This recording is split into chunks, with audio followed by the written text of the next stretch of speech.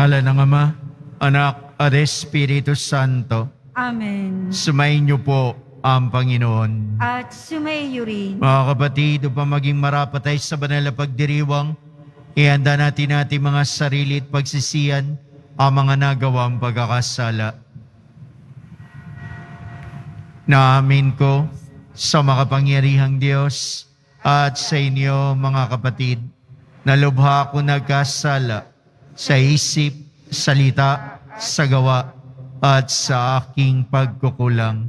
Kaya isinasamo ko sa mahal na Birhing Maria sa lahat ng mga anghel at mga banal at sa inyo mga kapatid na ako'y panalangin sa Panginoong ating Diyos.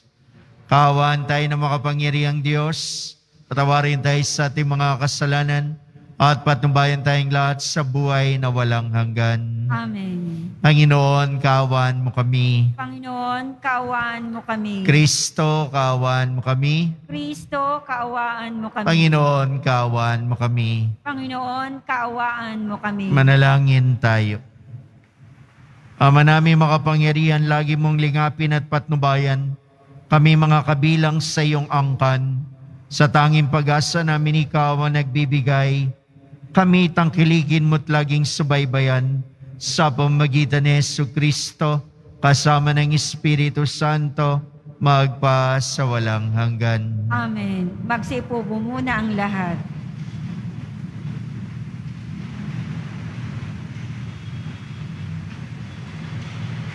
Pagbasa mula sa aklat ng Henesis.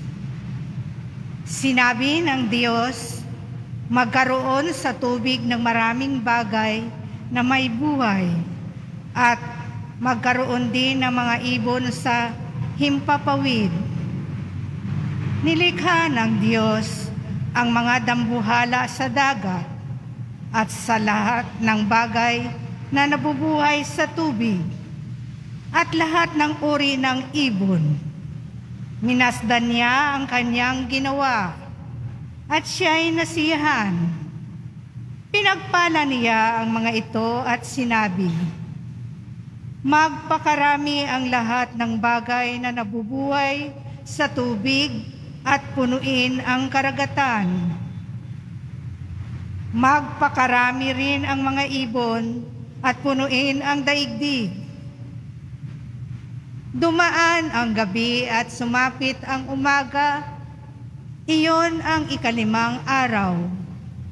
Sinabi ng Diyos, magkaroon ng lahat ng uri ng hayop sa lupa, maaamo, maiilap, malalaki at maliliit. At gayon nga ang nangyari. Nilikha nga niya ang lahat ng ito at siya'y lubos na nasiyahan nang mamasdan ang mga ito. Pagkatapos likhain ang lahat ng ito, sinabi ng Diyos, Ngayon, lalangin natin ang tao. Ating gagawin siyang kalarawan natin. Siya ang mamamahala sa mga isda, mga ibon, at lahat ng hayop, maging maamo o mailap, malaki o maliit.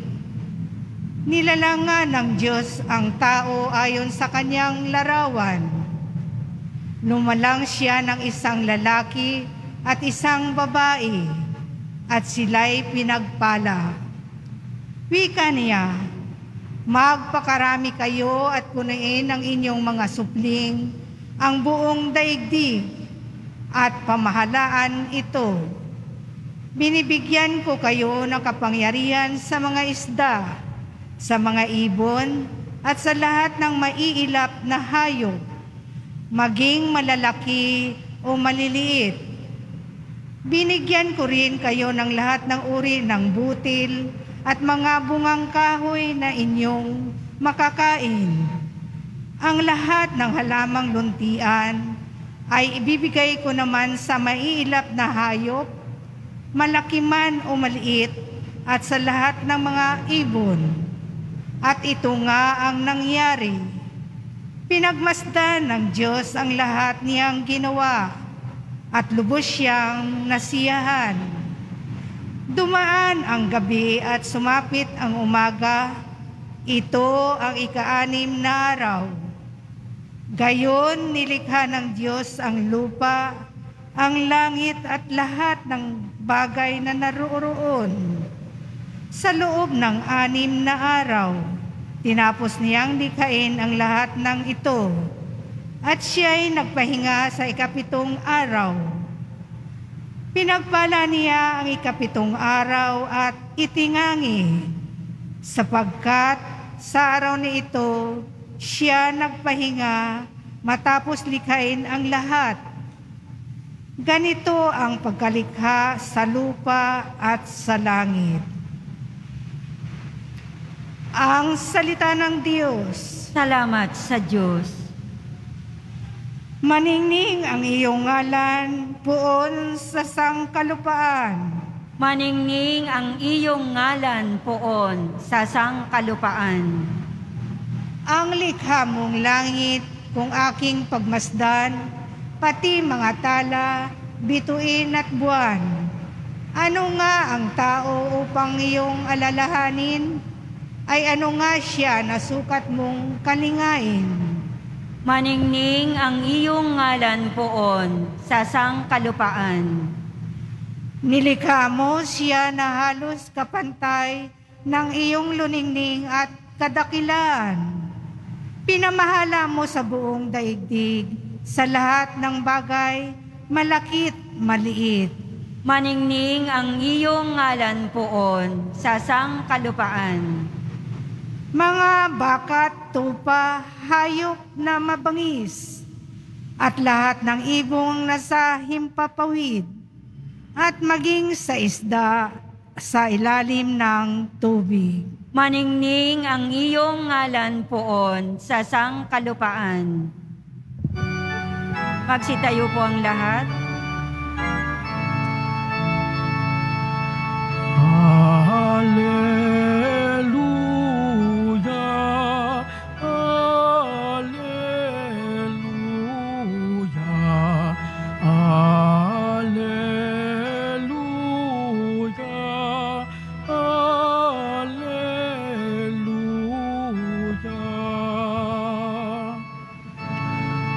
Salita mo akitin, ang puso ko at loobin, nang ikaw ay aking sundin.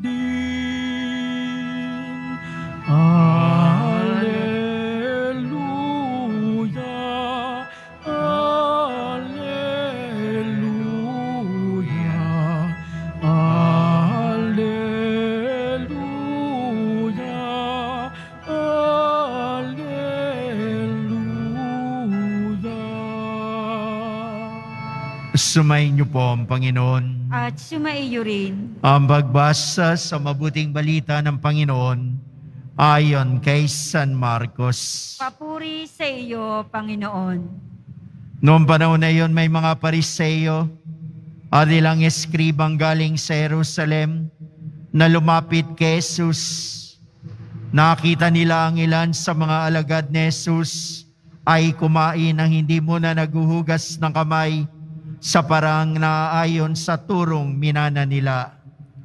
Ang mga Hudyo lalo na ang mga pariseyo, ay hindi kumakain hanggat hindi nakapaghuhugas ng kamay ayon sa mga turong minana, minana nila sa kanila mga ninuno.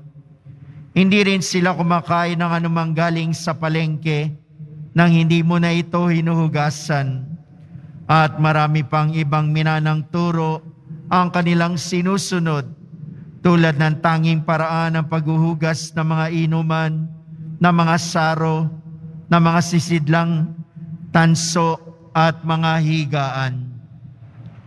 Kaya tinanong si Jesus ng mga pariseyo at mga eskriba, bakit hindi sumusunod ang mga alagad mo sa mga turo ng ating mga ninuno?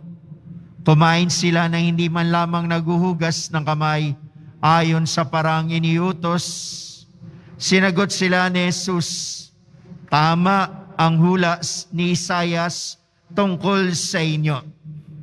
Mapagimbabaw nga kayo, gaya ng kanyang isinulat, paggalang na handog sa akin ang bayang ko'y paimbabaw lamang, sapagkat sa bibig at hindi sa puso ito bumubukal. Pagpurit pagsambang ginagawa nila'y walang kabuluhan. Ang utos ng tao ay tinuturong utos na may kapal. Niwawalang kabuluhan nga ninyo ang utos ng Diyos at sinusunod ninyo ang mga turo ng tao. Sinabi pa ni Jesus, kay husay ng paraan ninyo sa pagpapawalang bisa sa utos ng Diyos. Masunod lamang ninyo ang mga turong minana ninyo. Tulad nito, iniutos ni Moses na igalang mo ang iyong ama at ina at ang magsalita na masama sa kanyang ama o ina ay dapat mamatay. Ngunit itinuturo ninyo kapag sinabi ng isang tao sa kanyang ama at ina, anumang may tutulong ko sa inyo ay kurban, alalalong bagay inihahain ko ito sa Diyos. Hindi na ninyo siya pahihintulutang tumulong sa kanyang ama o ina. Sa ganitong paraan, winawalang kabuluhan ninyo ang mga salita ng Diyos sa pamamagitan ng mga turong minana ninyo at marami pang bagay na tulad nito ang ginagawa ninyo.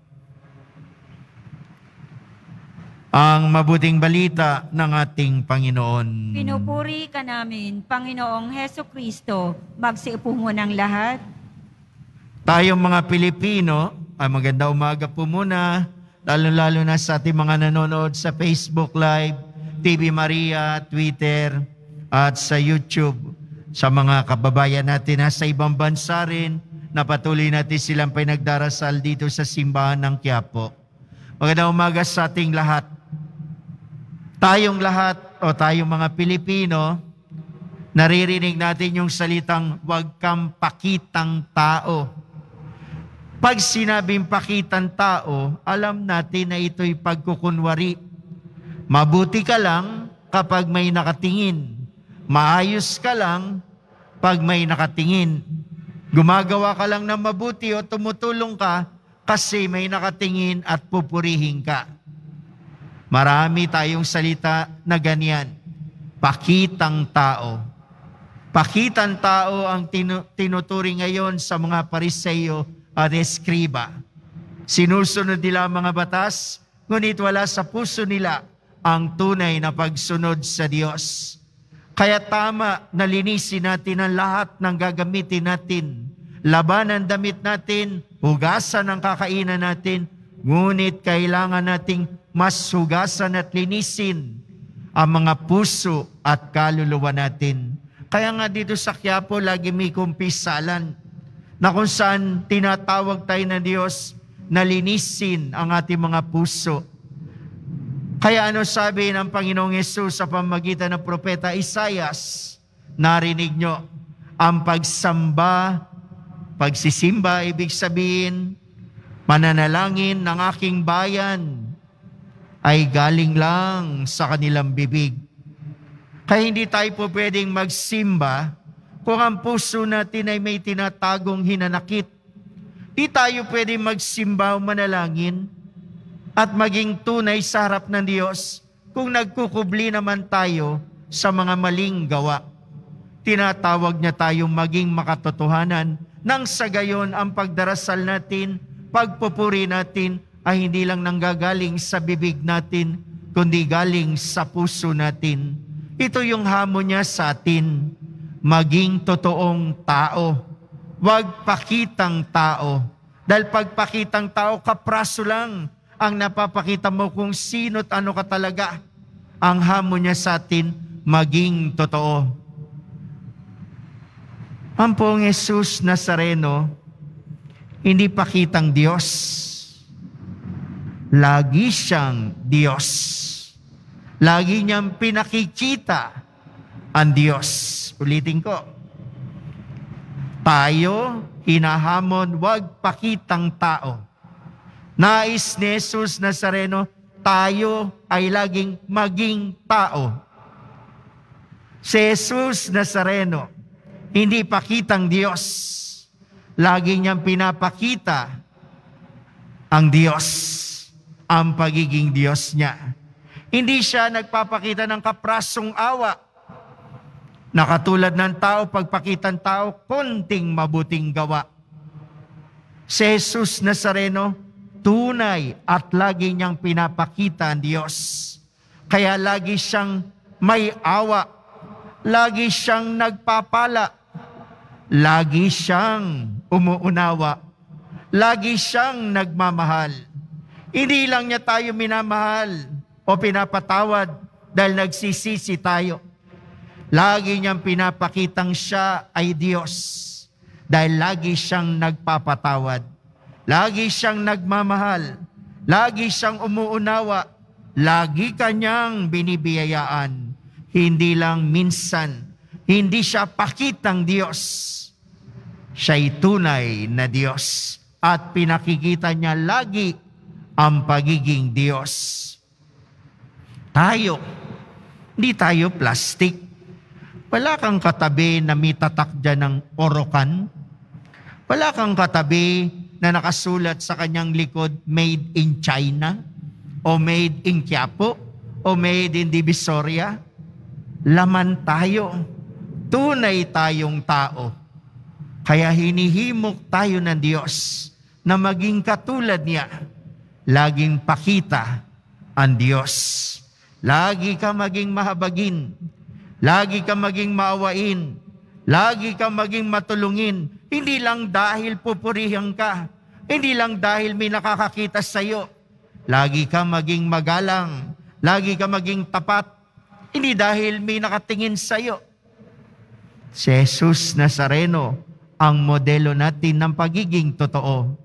Lagi siyang Diyos sa atin. Lagi siyang nagpapatawad. Lagi siyang umuunawa.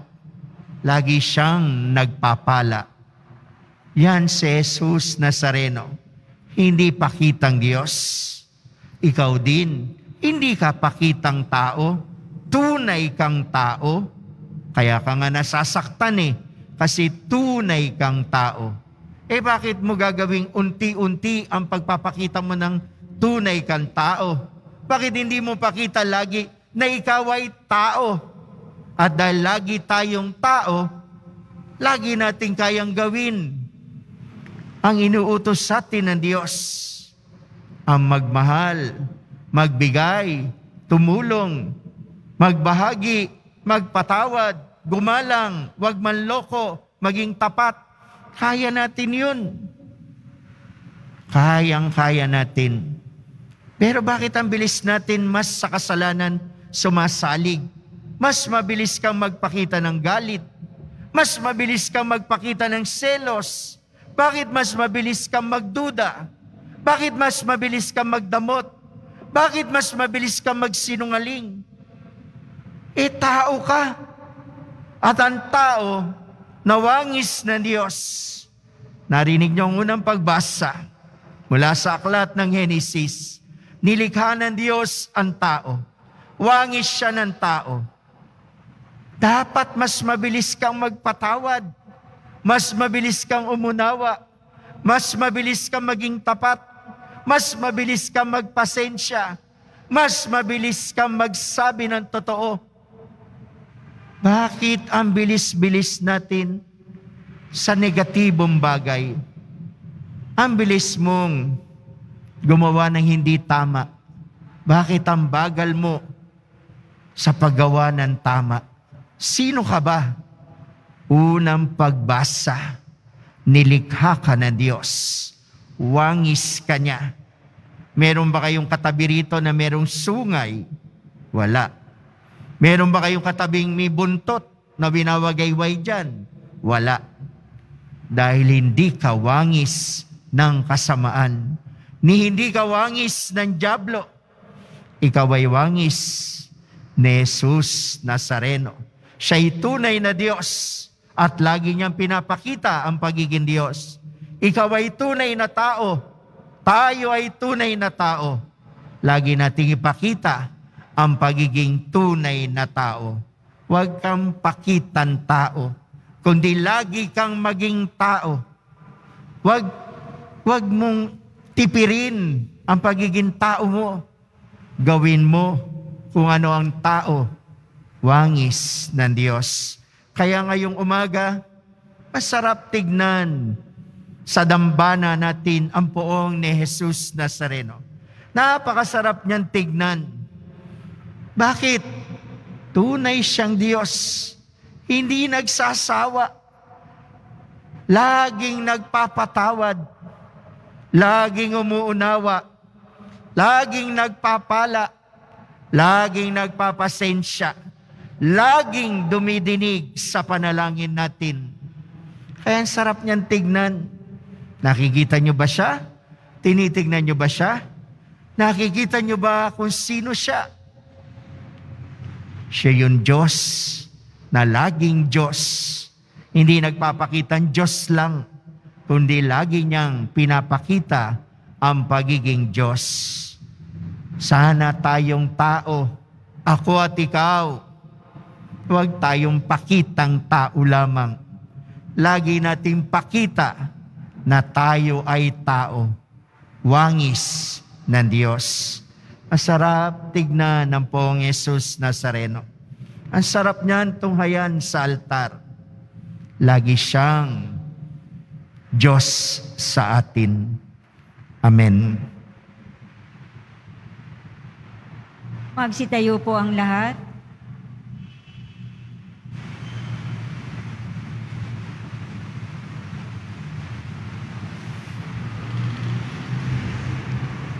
Minamahal ko mga kapatid, walang saysay ang ating pagsamba kung hindi tayo, kung hindi ito nanggagaling sa pusong tunay.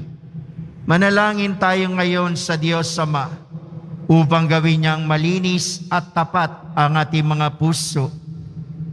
Ang itutugon po natin, Ama, buksan mo ang aming mga puso sa iyong puso.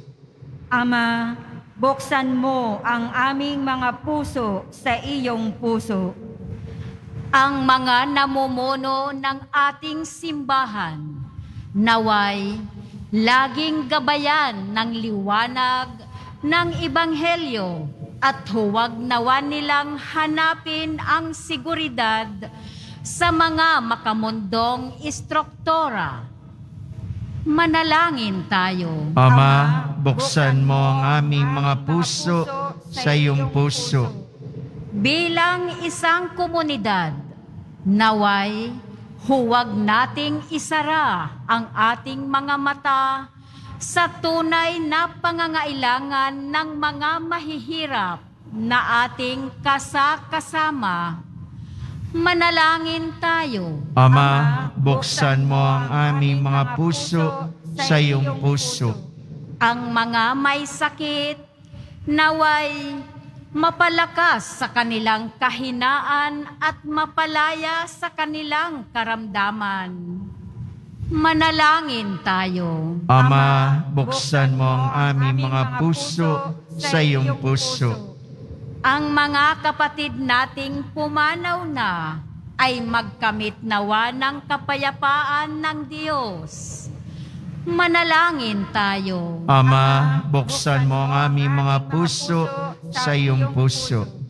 Tumahimik po tayo sumandali taimtim nating ilapit sa poong Jesus Nazareno ang ating mga kahilingan at ang ating mga pasasalamat.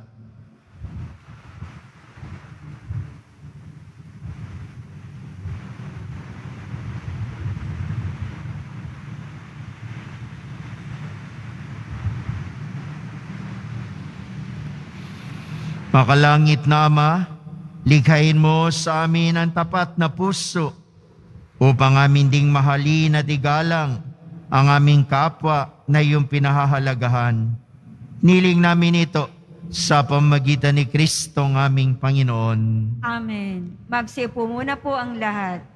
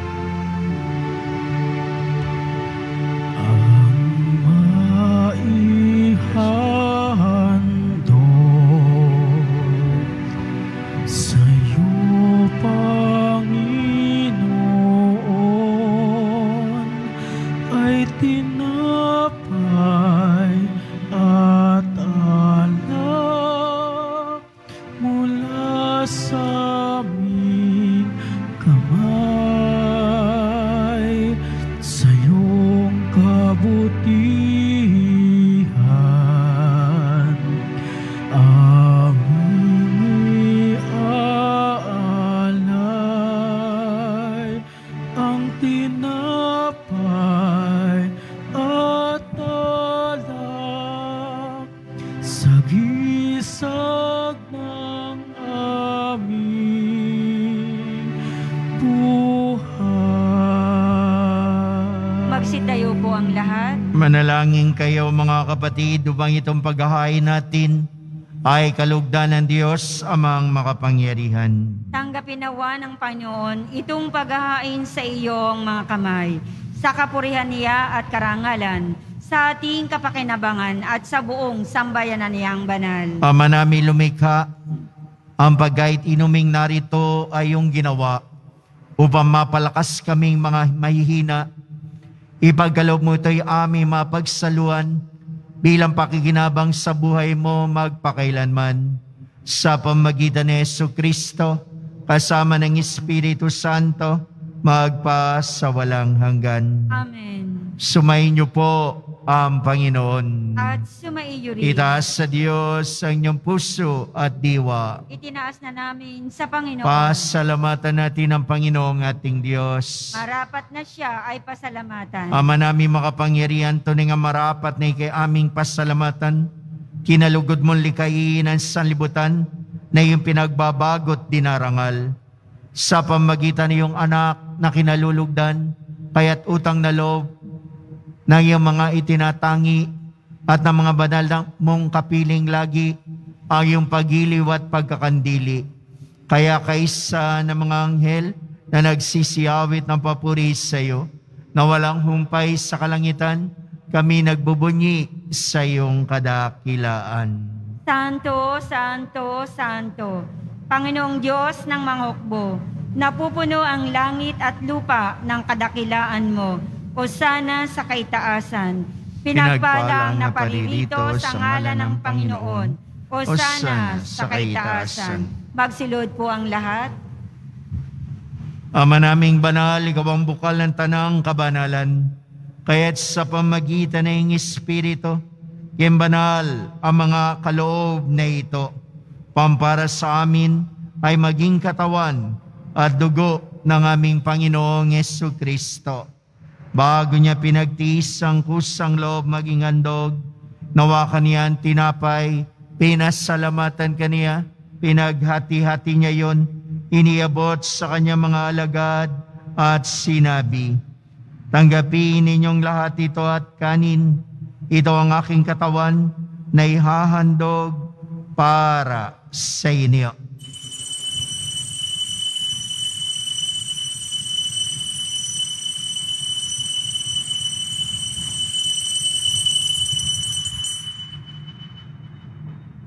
Gayun din naman nung matapos sa hapunan, hinawakan niya ang kalis, Muli kanyang pinasalamatan.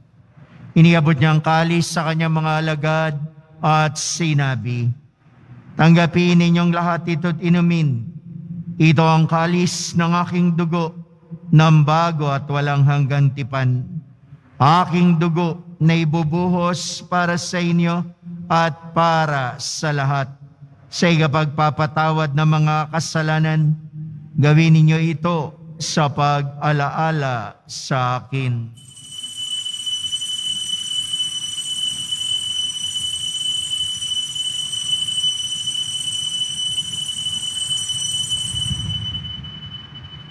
Magsitayo po ang lahat. Pagbunyin natin ang misteryo ng pananampalataya. Si Kristo ay namatay, si Kristo ay nabuhay, si Kristo ay babalik sa wakas ng panahon. Ama, ginagawa namin ngayon ang pag-alala sa pagamatay at muling pagabuhay na iyong anak. Kay dinalay namin sa iyon tinapay na nagbibigay buhay at ang kalis na nagkakaloob ng kaligtasan. Kami nagpapasalamat dahil kami minarapat na tumayo sa harap mo para maglingkod sa iyo. Sinasamo namin kami magsasalo-salo sa katawan at dugo ni Kristo'y mabuklod sa pagkakaisa sa pamagitan ng Espiritu Santo. Ama, lingapin mo yung simbahang laganap sa buong daigdig. Puspusin mo kami sa pag-ibig. Kaysa ni Francisco na aming Papa at ni Jose na aming Obispo ng Kaparian. Alalanin mo rin ang mga kapatid naming nahimlay, may pag-asang sila'y muling mabubuhay. Gayun din ang lahat ng mga pumanaw. Kawan mo sila at patuloyin sa iyong kaliwanagan. Kawan mo at pagindapating kaming lahat na makasalo sa iyong buhay na walang wakas. Kaysa na mahal na Birhing Maria, Ina ng Diyos, nakabiyak niyang puso na si San Jose. Kaysa ng mga apostol, ni San Juan Bautista at lahat ng mga banal na namuhay dito sa daigdig ng kalugod-lugod sa iyo. May pagdiwang nawa namin ang pagpupuri sa ikararangal mo sa pamagitan ng iyong anak na aming Panginoong Yesu Kristo. Sa pamagitan ni Kristo kasama niya at sa Kanya, lahat ng parangal at papuri ay sa iyo. Diyos sa makapangyarihan, kasama ng Espiritu Santo, magpasawalang hanggan. Amen. Sa tagubili na nakagaling na utos sa turo ni Jesus na Panginoon natin at Diyos, pahayag po natin ng lakas loob. Ama namin, sumasalangit ka. Sambahin ang ngalan mo. Mapas sa amin ang kaharian mo. Sundin ang loob mo dito sa lupa para na sa langit. Bigyan mo kami ngayon ng aming kakanin sa araw-araw at patawarin mo kami sa aming mga sala para ng pagpapatawad namin sa nagkakasala sa amin. At huwag mo kaming pahintulot sa tukso. At iadiya mo kami sa lahat ng masama. Hiniling namin kami adias sa lahat ng masama, pagkalooban ng kapayapaan araw-araw, iligtas sa kasalanan. At ilayo sa lahat ng kapahamakan, samantalang aming pinananabikan ng dakilang araw ng pagpapahayag ng tagapagligtas naming si Yesu Kristo. Sapagat iyo ang kaharian at ang kapangyarihan at ang kapurihan magpakailanman. Amen. Panginoong Yesu Kristo, sinabi mo sa iyong mga apostol, kapayapaan ang iniiwan ko sa inyo. Aking kapayapaan ang ibinibigay ko sa inyo. Tunghayan mo ang aming pananampalataya at huwag ang aming mga pagkakasala. Pagalooban mo kami ng kapayapaan at pagkakaisa ayon sa iyong kalooban, kasama ng Espiritu Santo, magpasawalang hanggan Amen. kapayapaan, pag-ibig ng poong Yesus Nazareno, nawa ay laging sumayinyong lahat. At sumaiyo rin. Magbigayan po kayo't magangad ng kapayapaan sa isa't isa. Peace be with you po. Peace be with you. Peace be with you. Kordero ng Diyos, Kordero ng Diyos na nag-aalis ng mga kasalanan ng sanlibutan, maawa ka sa amin. Kordero ng Diyos na nag-aalis ng mga kasalanan ng sanlibutan, maawa ka sa amin. Kordero ng Diyos na nag-aalis ng mga kasalanan ng sanlibutan, ipagkaloob mo sa amin ang kapayapaan. Magsilod po ang lahat. Mga kapatid, naririto si Jesus, ang Nazareno, ang kordero ng Diyos, ang laging nag-aalis ng ating kasalanan, ang tunay na Diyos na nagpapatawad at nagmamahal. Mapalad tayo ngayong tinawag na maging tunay sa Kanyang harapan. Panginoon, Panginoon, hindi ako karapat-dapat na magpatuloy sa iyo. Ngunit sa isang salita mo lamang ay gagaling na ako. Nawingatan tayong lahat ng katawan at dugo ni Kristo tungo sa buhay na walang hanggan. Amen. Amen.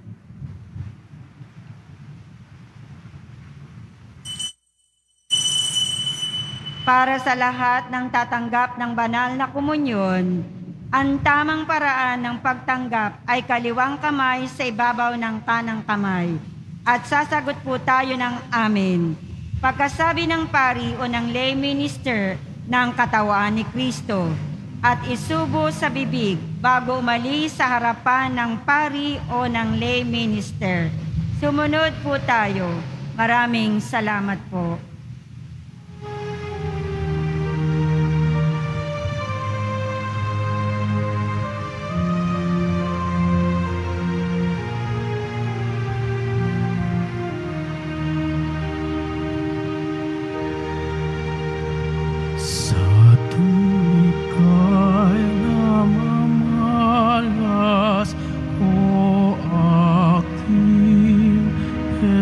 Jesus, pag-ibig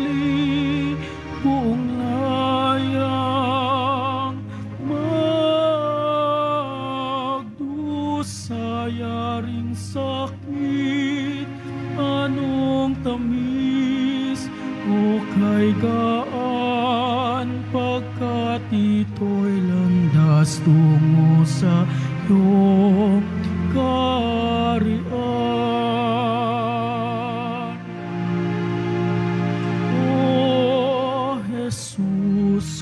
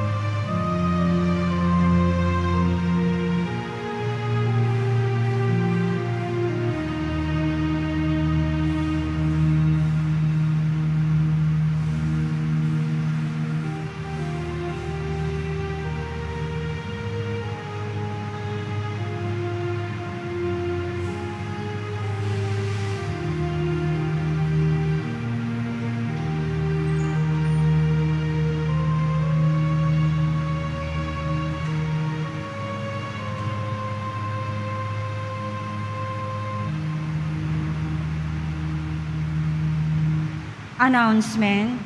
Kung kayo po ay mayroong naitatagong mga lumang palaspas, noong mga nakaraang taon ay maaari po ninyong dalhin dito sa ating simbahan. Ito po ay susunugin sa February 21 pagkatapos ng ikalima ng hapon na misa. Ang abo mula rito ay siyang gagamitin sa Ash Wednesday sa February 22. Maraming salamat po. Pinaalalahanan ng lahat na huwag maging kampante sa banta ng COVID-19. Pagkos, dapat nating ipagpatuloy ang tamang pagsunod sa minimum public health standard sa ilalim ng Alert Level 1. Sa oras na makaramdam ng sintomas, agad na mag-isolate para sa dagdag na proteksyon laban sa banta ng COVID-19 agad-agaran na tayong magpabakuna at booster. Maraming salamat po. Magsitayo po ang lahat. Manalangin tayo.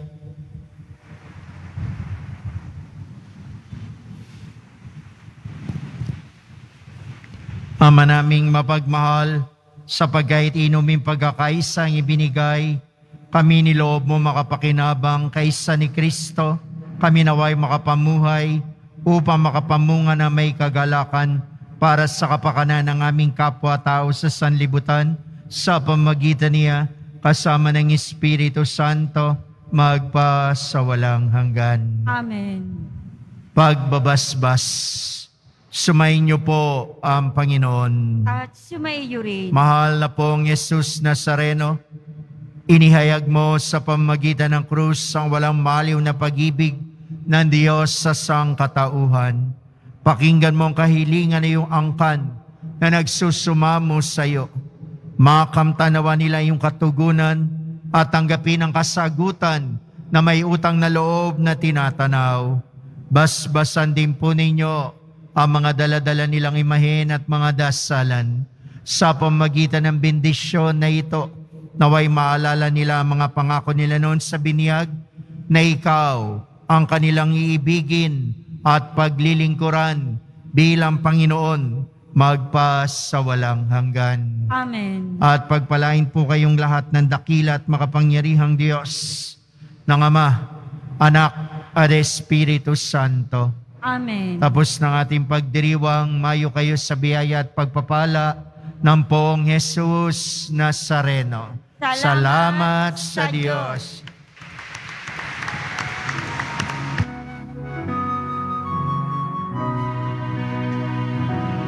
Nuestro Padre Jesús Nazareno, sinasamba ka namin. Pinipintuho ka namin.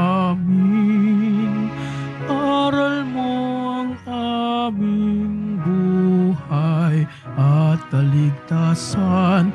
Nuestro Padre Jesus Nazareno, iligtas mo kami sa kasalanan. Ang krus mong kinamatayan ay sagisag ng aming kaligtasan. Nuestro Padre Jesus Nazareno, dinarangal ka namin. Nuestro Padre Jesus Nazareno, niluluwalhati ka namin.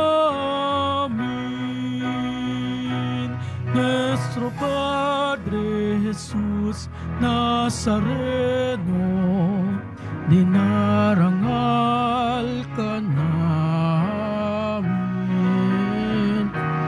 Nuestro Padre Jesus Nazareno, niluluwalhati ka namin.